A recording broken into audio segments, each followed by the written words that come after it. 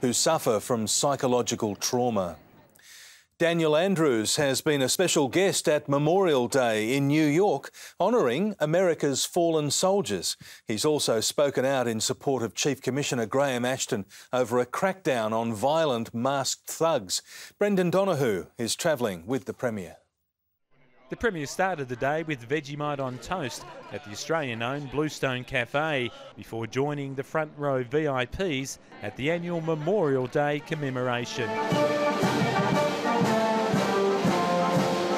It's a federal holiday and the most sombre as it remembers the 1.2 million American men and women killed in armed conflicts, including World Wars I and II, Korea, Vietnam, the Middle East and Afghanistan.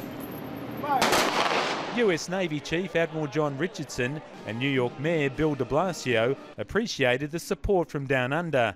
The Premier invited to lay a wreath in the memory of Allied soldiers killed fighting along with the United States. It's a great honour to be here today to remember those who've fallen in the defence of our freedom for our whole world. On homegrown law and order issues, the Premier announced he supports the Chief Commissioner Graham Ashton and new laws to ban violent thugs wearing masks at public protests and other events. The powers necessary, the resources necessary, uh, that's how we'll fight crime and keep our Victorian community safe. The Premier says any changes to the law will be decided when he returns to Victoria after a 10 day tour through the United States. In New York, Brendan Donahue, 7 News.